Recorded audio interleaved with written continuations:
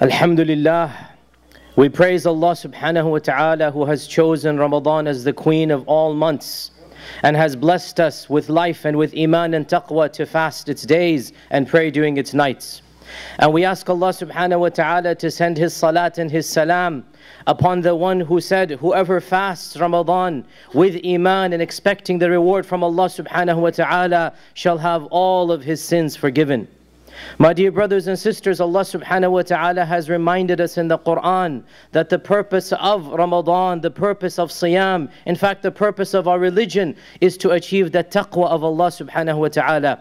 Ya ayyuhalladhina amanu kutiba alaykumus siyamu kama kutiba ala alladhina min qablikum la'allakum tattaqun. O you who believe, fasting has been prescribed for you as it was prescribed for those before you so that you can achieve the consciousness and taqwa of Allah subhanahu wa ta'ala.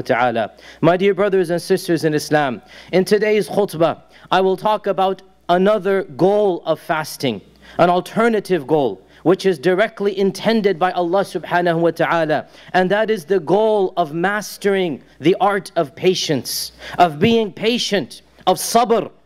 The concept of sabr is one that occurs constantly throughout the Quran and Sunnah. In fact, it is one of the most common commandments, almost 100 verses in the Quran mention the blessings of patience and command us to be patient. And this month has been linked to patience. Our Prophet ﷺ said that the month of fasting is the month of sabr. Shahrul Sabr is one of the names of month of Ramadan. So one of the names of the month of Ramadan is Shahrul Sabr, as according to the hadith in Sunan An-Nasa'i. And in another hadith, our Prophet ﷺ said that as-sawmu nisfu sabr, that fasting is mastering half of all of patience, reported in a Tirmidhi. So this month is the month of patience, and fasting is considered to be mastering half of the entire art of patience. And so as we begin this month, on the first Friday of this month, let us remind ourselves of the blessings and the beauty of patience and why Allah subhanahu wa ta'ala has legislated it. As for the linking of sabr to this month, the linking of sabr to the concept of fasting, that is self-evident and obvious because it is during this month that we control ourselves. We are patient. We refrain from the two most essential items to live and that is food and water. In this month, we restrain ourselves from our sensual desires throughout the day. That which is permitted between spouses has become unlawful during the day. This is another mastery of patience. During this month, we restrain ourselves in so many of the sins that we are accustomed to do. In this month, we cut back our sins. We eliminate our sins. We restrain our desires to that which is lawful. And in this month, we restrain ourselves to the worship of Allah. Throughout the year, much of us, we waste too much time. In this month, every one of us with an ounce of iman, we take advantage of our time. That which might be permitted, but it's too luxurious, too wasteful, we cut back on it. When we dedicate ourselves to the worship of Allah, to the recitation of the Quran, to the frequenting of the masajid. And so, the linking of sabr with this month is obvious. And the linking of sabr with the aspect of siyam is also obvious. Realize, my dear brothers and sisters, that being patient is a part and parcel of being a believer in Allah. And that is why all of the prophets of Allah, without exception, have stories in the Quran that embody patience. Without exception, every single prophet in the Quran has stories that deal with them mastering the art of patience. Of them is the Prophet Nuh alayhi salam, where Allah subhanahu wa ta'ala mentions that he was mocked and ridiculed by his people for 950 years. Of them is the Prophet Ibrahim alayhi salam, who was patient time and time again. He was patient when he was thrown into the fire by his people. He was patient when he was commanded to sacrifice his son Ismail. He was patient over and over again. Of them is the patience of Musa, Moses, how many times Musa has to control his anger in the Quran. Even our Prophet ﷺ said, Musa was taunted and ridiculed more than I was, and he was patient. So even the Prophet ﷺ mentioned the sabr of Musa, the patience of Ayub, the Prophet Job, Ayub. How much was he tested and tried? His family, all of his children were taken away. All of his wealth was taken away. His skin was inflicted with leprosy. He became a pariah. And yet Allah mentions him in the Quran. وَاذْكُرْ عَبَدَنَا أَيُّوب Remember our servant Ayub. We tested him. Inna wajadnahu sabira. We found him to be a patient servant. Ni'mal abdu innahu awwab. Ni'mal abd. What a great servant he was. Why did Allah praise Ayub in such a manner? Because Inna wajadnahu sabira. We found him to be a patient prophet, a patient person. Our Prophet Muhammad sallallahu alaihi wasallam, before him Yaqub and Yusuf of course as well. The patience of Yaqub losing Yusuf. The patience of Yusuf being tempted, being thrown in jail. Each and every prophet in the Quran becomes a symbol of perfecting the art of patience. And of course, our Prophet Muhammad sallallahu alaihi wasallam as well mastered that aspect of this religion, which is to be patient for the sake of Allah. How many stories, how many incidents of the seerah where we could see that our Prophet sallallahu controlled himself, controlled his anger. He was patient for the sake of Allah subhanahu wa ta'ala. The incident of Ta'if, the conquest of Mecca, the harsh Bedouins that he had to deal with each and every time again, he continued to demonstrate demonstrate what is the reality of mastering patience. And that is why, my dear brothers and sisters, sabr is linked with iman. If you have iman, you will have sabr. And if you don't have sabr, then in reality you have not perfected Iman. Sabr and Iman go hand in hand. You cannot have one without the other. Allah subhanahu wa ta'ala mentions in the Quran literally dozens of verses. As I said, one of the most common commandments, one of the most frequent mentions in the Quran. Over 100 times almost, Allah mentions patience. Some of those verses, Allah subhanahu wa ta'ala praises true righteousness. He says in the Quran in a verse we recited yesterday in our salah, لَيْسَ الْبِرَّ It is not righteousness whether you turn east or west towards the Qibla, but true righteousness is, and then a long list begins. One paragraph. And Allah finishes this list. وَالصَّابِرِينَ فِي الْبَأْسَاءِ وَالضَّرَّاءِ وَحِينَ الْبَأْسِ And those who are patient. True righteousness is to demonstrate patience, patience when you are afflicted with poverty, fil ba'sa. وَالضَّرَّاء when you're inflicted with calamity. So when you don't have money, or when you have some disease, some sickness, some loved one is in pain, في البأساء والضراء وحين البأس and during times of war.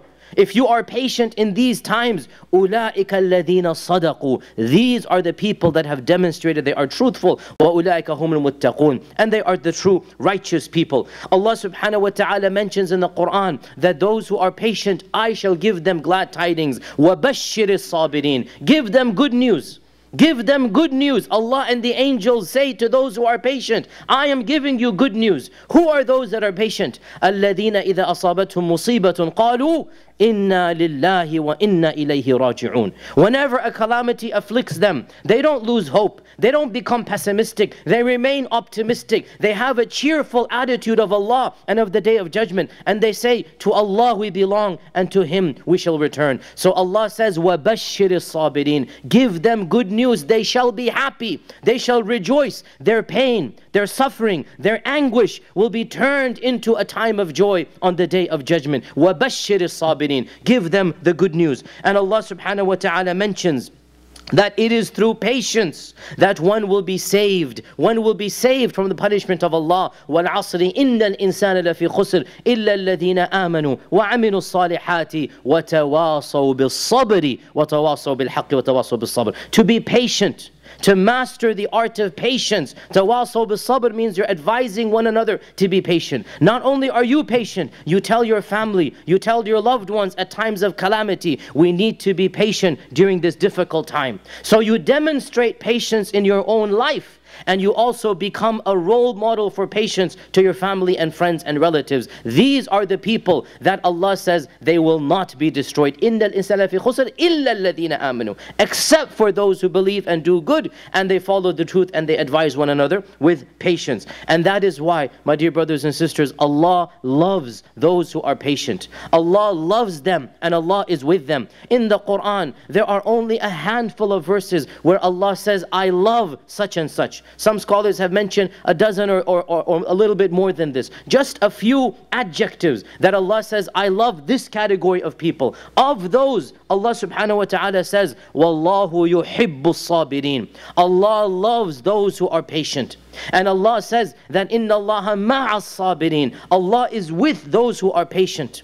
So Allah is with them when they feel they have nobody when they feel everyone has been taken away, they've been betrayed, when they feel that their family has gone or they've lost a loved one, Allah says, I am with them.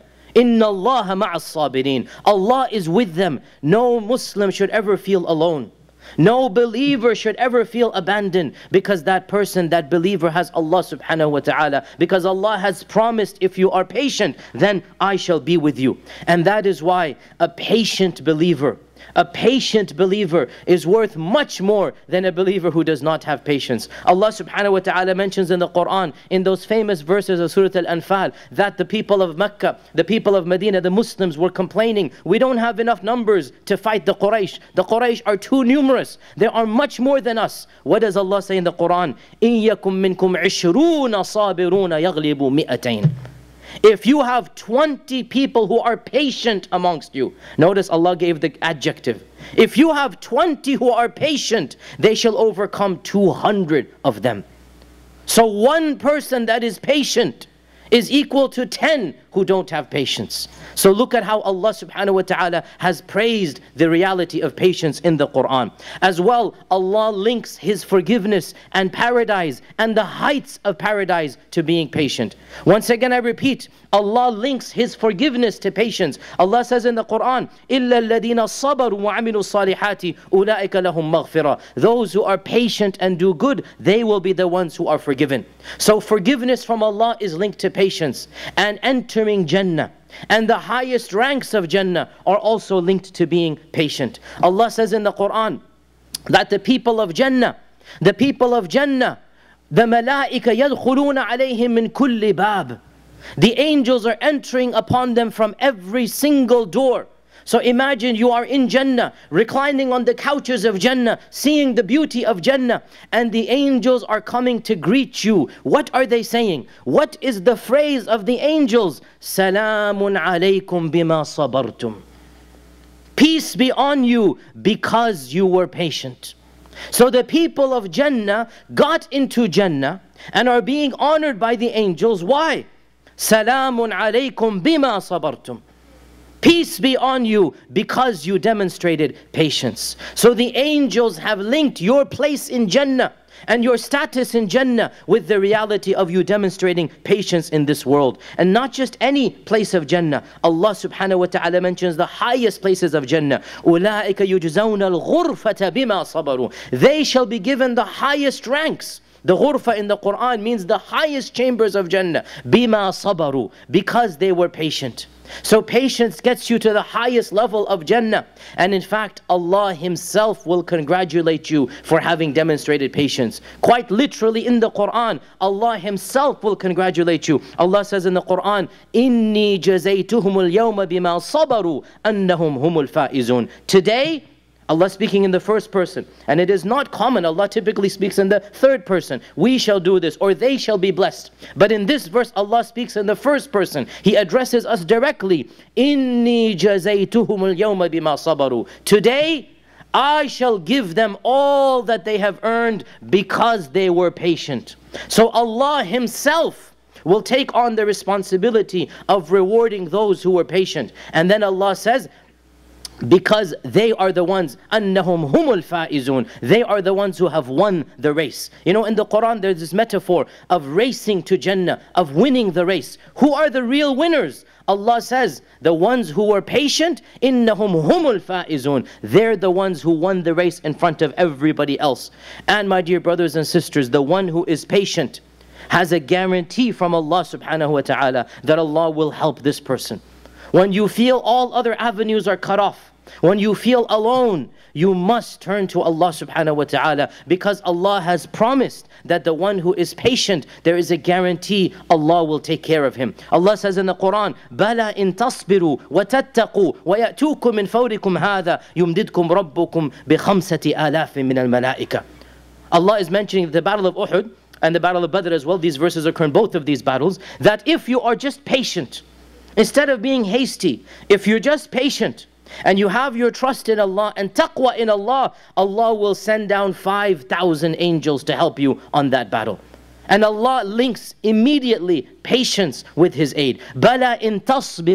So once again, if on the battle of Badr, when you are facing Abu Lahab, you're facing Abu Jahl, you're facing the thousand army of Quraysh and you're not even armed. And Allah says, if you're patient, I will send down 5,000 angels to help you, which is exactly what happened as we know. If that's going to happen on the battle of Badr, how about my and your trivial problems if we're patient in that? Cannot Allah solve those problems? How about my problems of finance, my problems of family, my problems of interactions, my problems of life? This is the reality of this world. We all go through our problems. And Allah Azza wa Jal has told us we need to go through all of these problems having mastered the art of patience. And that is why our Prophet Sallallahu Alaihi Wasallam said, No one has been given something that is better or more vast than patience.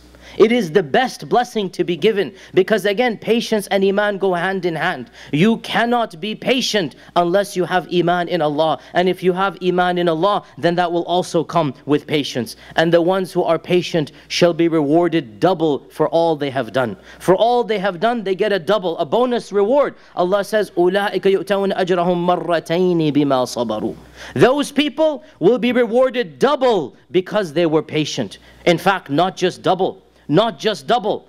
The only time in the Quran that Allah mentions, I shall reward without measure, without counting. Forget double, forget triple, forget times 10, forget times 700, times infinity. The only time Allah says it is what? Is when it comes to patience. إنما يوفى الصابرون أجرهم بغير حساب. the ones who are patient, they shall be returned their reward without any measure or counting. Allah will not count how many times extra reward you are getting once you have mastered the art of patience. And my dear brothers and sisters, the rewards of patience, the blessings of patience go on and on and on. But the question arises what is patience and how is it demonstrated? What exactly is patience and how is it demonstrated? My dear brothers and sisters, realize that the reason why patience is so difficult to master is that patience is in reality inaction and inactivity. Patience is to do nothing, to master what you feel like doing. That is the reality of patience. It is easy to do something when you're irritated, when you're angry, when you're sad, when you're grieving. You feel like doing something. Patience tells you to master and not do that which Allah does not want you to do. So patience means you are feeling something inside, but it is not being shown on the outside. The grief, the anger, the anguish, the frustration, whatever it is, Patience means you let it remain there and not show it on the outside. And that is why patience is so difficult because patience is not an action, patience is inaction. I repeat, patience is not an action. Patience is inaction. You don't do anything. Someone has died, your loved one has passed away. You control your tongue. You do not wail, moan, grieve in a manner that is un Islamic. You keep your tongue in check. You lose your job, something bad happens. You do not start moaning and complaining, why is this happening to me? I don't deserve this to happen. Astaghfirullah, who are you to challenge the wisdom of Allah? Who are you to stand up and say, why is this happening? Are you Allah or are you a servant of Allah? If you are a true servant of Allah, then you say, Inna lillahi wa inna ilayhi raji'un. Oh Allah, you are my Lord. I don't understand, but I trust you. I trust whatever has happened has happened for the best. I don't understand, but that's because my wisdom is limited. I am not questioning your wisdom, O Allah. I am questioning my wisdom. And I trust you, O Allah, you will make things better for me. This is patience. Your attitude, your optimism, your iman, your words that you say, the actions that you do. We are prohibited in Islam from wailing and grieving, from beating ourselves when somebody dies. This is all haram. When somebody passes away, we demonstrate patience. When we lose a job, when any calamity happens, when we're in grief, we need to master ourselves and remember what our Prophet ﷺ said, إِنَّمَا الصَّبْرُ عِنْدَ الصَّدْمَةِ الْأُولَى Memorize this hadith, brothers and sisters, because patience, according to this hadith, is demonstrated at the first stroke of calamity. Patience is demonstrated at the first stroke of calamity, i.e., when you hear the news, how do you react? That is your patience. Everybody becomes patient in two years, in two months, in two days. Everybody becomes patient. You have to deal with it. True patience is demonstrated when? As soon as you find out the news, as soon as you hear that big disaster, what will be your reaction? إنما الصبر عند الصدمة الأولى. Sabr is demonstrated at the stroke of calamity. And in order to prepare yourself for that stroke, you need to master patience. Patience is not learned after the calamity happens. Patience has to be earned before so that when the calamity strikes, you are able to control yourself in a patient manner. And hence, my dear brothers and sisters, we get back to the issue of fasting because fasting is what allows us to master our patience. Fasting is when we withhold ourselves from that which is necessary to live. Our food, our drink on this hot day, we are mastering that which is necessary in order to demonstrate to Allah if I can live without food and water, then I can live without committing sins. If I can live without food and water, then I can live without wailing and groaning and moaning. If I can live without food and water, then I can live without disobeying Allah subhanahu wa ta'ala. We are mastering day by day, night by night, every single day. We're honing in, and that is why just fasting will perfect half of patience. Of course, not all of it, because there are other things that need to be done as well. But just the act of fasting will get us 50% of the reality of patience. And my dear brothers and sisters, realize as well that patience is so beloved to Allah that of the names of Allah is the one who is patient. As-Sabur. Of the names of Allah is As-Sabur. So Allah characterized Himself with that attribute that He loves so much. And how is Allah as-sabur? Our Prophet gave just one example. Just one example. And of course, this name is a whole khutbah in and of itself. He said, Allah, there is no one who is more asbar than Allah. No one has more sabr than Allah. His servants deny Him, curse Him, reject Him. People negate Allah's existence. People say bad things about Allah and yet He continues to provide for them their needs, their food, their drink, their merriment. SubhanAllah, if somebody says one half bad phrase about us, we abandon him for years. If we hear on the rumor grapevine that somebody has disparaged us, khalas, all good is cut off. Allah Azza wa Jal hears His servants saying such things about Him, rejecting Him, mocking Him, denying Him, and yet look, He is providing for all of them.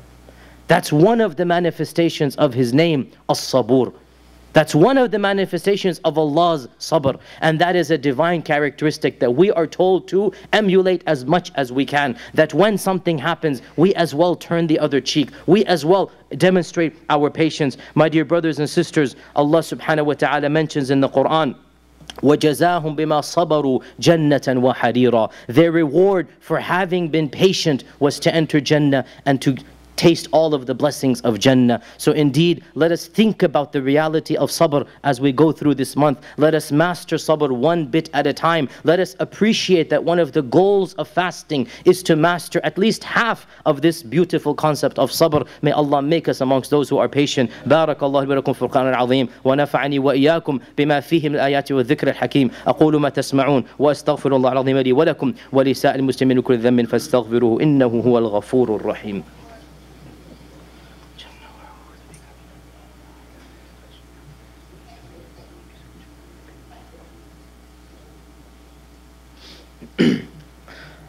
الحمد لله الواحد الأحد الصمد الذي لم يلد ولم يولد ولم يكن له كفوا أحد وبعد Can I ask the brothers to move forward? There are people outside and we don't want to have anybody outside uh, today. So squeeze in as much as you can. Scholars have mentioned that patience is of three types. There are three types of patience, my dear brothers and sisters. The first type of patience, which is the lowest level, the lowest level is to demonstrate patience when a calamity afflicts you. This is the lowest level because it's out of your control. You cannot dictate your circumstances. You lose a job, financial catastrophe, the death of a loved one. You cannot dictate it. So to demonstrate patience here means what? You control your tongue and you have an optimistic attitude with Allah subhanahu wa ta'ala. You don't have to understand. You can feel sad. It's human nature to feel sad. You can cry, you can grieve, but you cannot question the wisdom or the mercy or the love of Allah subhanahu wa ta'ala. You cannot question it in your heart, much less verbalize it in your tongue. So patience here means to control even your thoughts. Even your thoughts need to be controlled at a time of calamity, and especially your tongue. And you do not question the wisdom of Allah subhanahu wa ta'ala. This is the lowest level of patience. And it is one that indeed Allah Azza wa Jal mentions that this is one of those levels that whoever masters it has, and especially at the death of a loved one. Our Prophet ﷺ mentioned that of the greatest calamities, and there are many hadith about this, is to lose a young one, a child, is to lose a child. And that is why losing a child and being patient is automatically linked to being entered into Jannah. There are many ahadith about the one who is patient at the death of a young one, at the child, and they demonstrate their patience. Allah Azza wa will cause that child to hold on to his parents' hands and insist in front of Allah, no matter what his parents have done, they were patient at his death, insist that they will come into Jannah with his hands. So this is of that level, which is to demonstrate patience at the time of a calamity. The second level of patience is to be patient and restrain yourself from committing sins and disobeying Allah. Now, this at times is more difficult because committing sins is in front of us. We have the luxury, the option of committing so many sins. Being patient here means controlling, withholding, with, with, with straining, holding ourselves back, reining ourselves in, checking ourselves in. We don't go and do something that is tempting in front of us. And this level of patience is one that the month of Ramadan helps us to master. Think about it. In Ramadan, we are withholding ourselves from food and water. We're withholding ourselves from the sensual pleasures. So we're learning to withhold ourselves from that which is not allowed for us. The only reason we don't eat and drink, Allah says don't eat and drink, so we don't. So then how about Allah says don't drink alcohol, don't take drugs, don't do this, don't do that. The lists are there.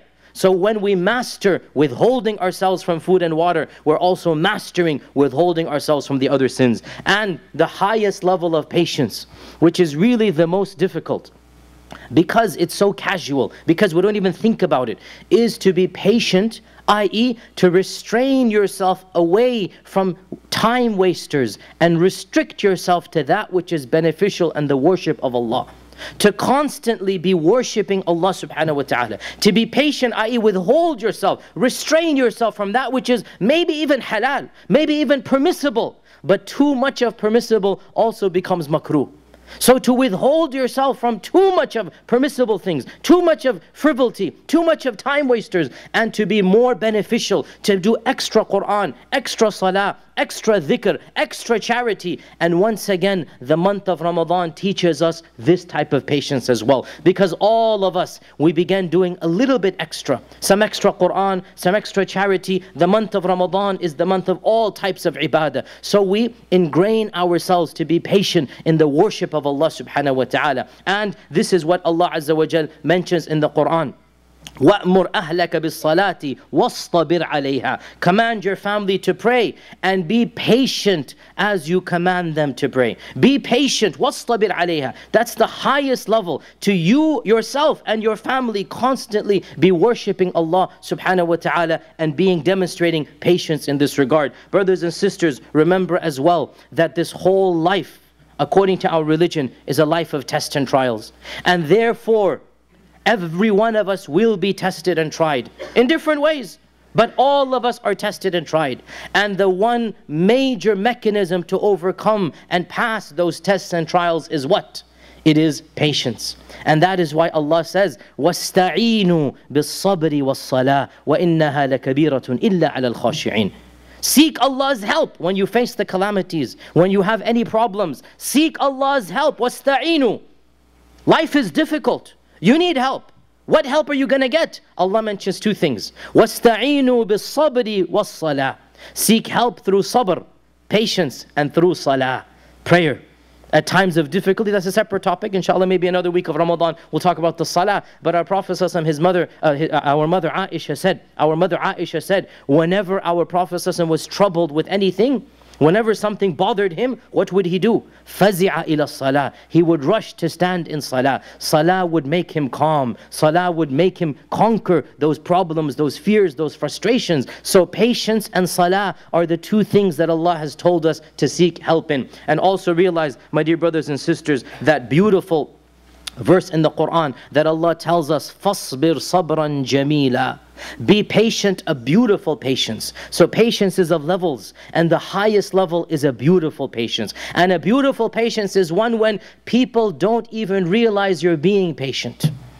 Nobody knows other than Allah that you're being patient. That is the perfection of patience. Nobody can see you're frustrated. Nobody can see you're agitated. Nobody can see that you're feeling anger. You have mastered it so much that only Allah knows. And that is the perfection which Allah says, Fasbir sabran jamila. Perfect your patience until it is a perfect and beautiful patience. And the final hadith that I'll remind myself and all of you is that how does one achieve patience, my dear brothers and sisters? Well, there's no no easy mechanism. Fasting is one of them to perfect our fast. But the main mechanism of achieving patience is to want patience from Allah subhanahu wa ta'ala. To be eager to be patient. To be greedy to be blessed with patience. And this we learn from the beautiful hadith of Sahih Bukhari. And it's such a simple, such a profound hadith. It's a hadith that I want us to memorize so that we are prepared for when a calamity strikes us. وَمَنْ يَتَصَبَّرْ يُصَبِّرْهُ اللَّهُ وَمَنْ يَتَصَبَّرْ يُصَبِّرْهُ اللَّهُ Whoever desires to be patient, يَتَصَبَّر, he actively wants to be patient. يُصَبِّرْهُ اللَّهُ Allah Azza wa Jal will give him the patience he requires. What a beautiful hadith. There is no magic trick. There is no mechanism other than wanting to be patient.